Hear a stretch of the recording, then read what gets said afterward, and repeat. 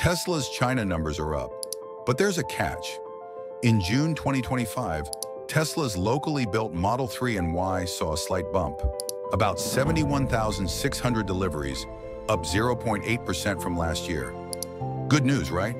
Well, not when you compare that to BYD. The Chinese giant delivered a jaw-dropping 377,628 vehicles in the same month. That's an 11% year-over-year jump and a serious flex in Tesla's backyard.